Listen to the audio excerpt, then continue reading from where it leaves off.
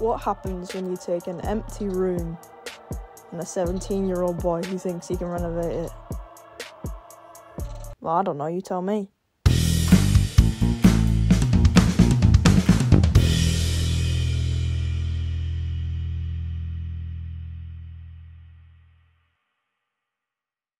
this room has seen some better days, and I really, really wanted my own hobby space to be able to create content. So I give you the plan. This is the floor plan of the room.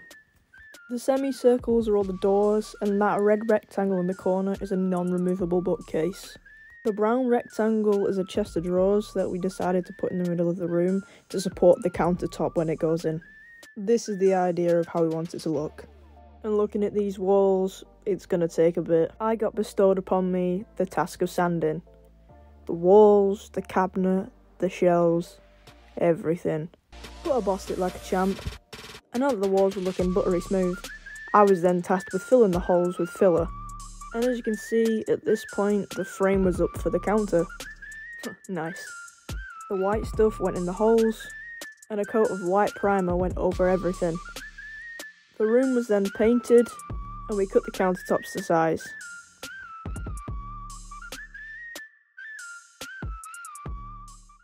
Now that we've got somewhat of a room, let's go shopping.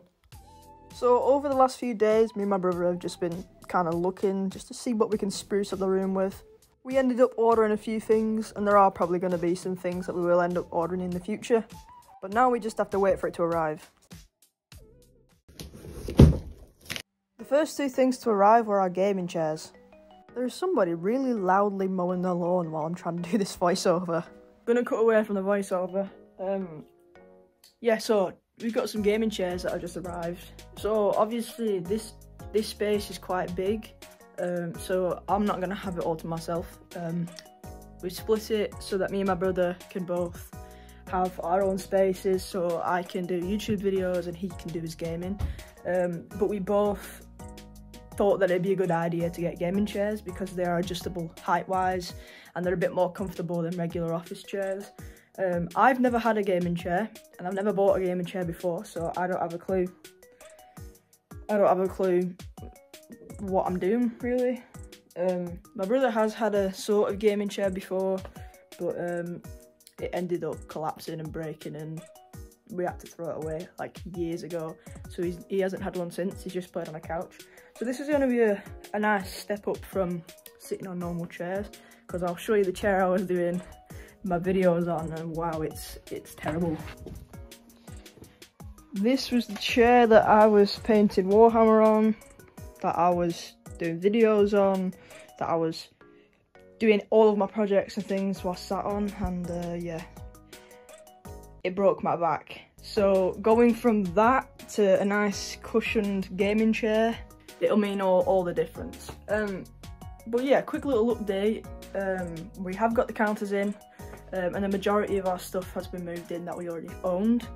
Um, so for me, that's my um, my four-piece drawer set, all my, my minis, all my painting supplies, um, my self-healing mat, stuff like that.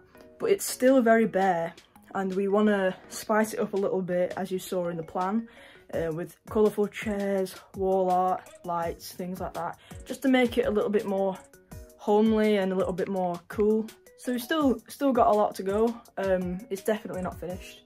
But yeah, let's go and build these chairs.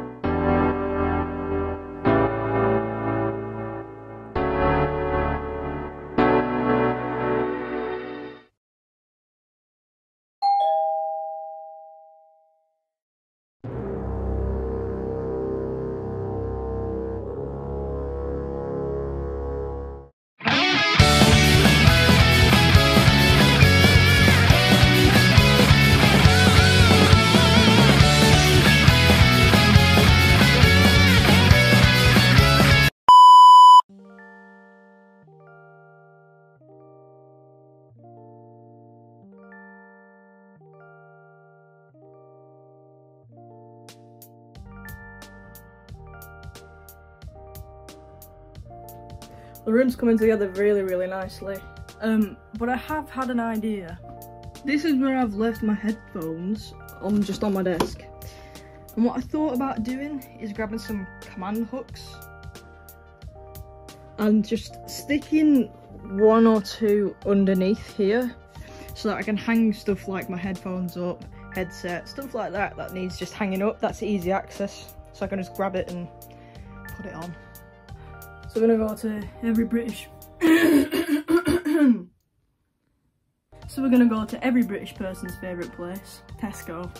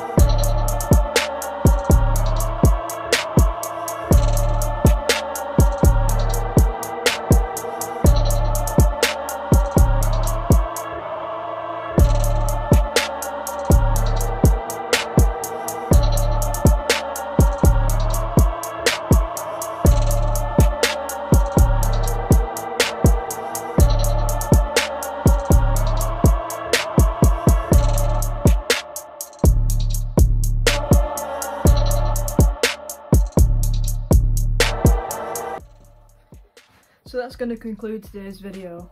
I know it was really short and that it could have been longer, but at this moment in time, this is what the room looks like. Obviously in the future, as we change our minds about things we like, stuff is going to change. I do have big plans to add a rug and to add cabinets and stuff. As it stands right now, this is what the room looks like. I'm really, really happy with how it's turned out. Um, I have my own space now, my own hobby space to do videos. I can relax, I can watch TV, I can do all the things I want to do. So really it's been a complete and total transformation from a dingy dark room into a nice studio. So if you did enjoy this video, please do like, subscribe and comment down below what you'd like to see next. I've been Harry and I'll see you in the next one.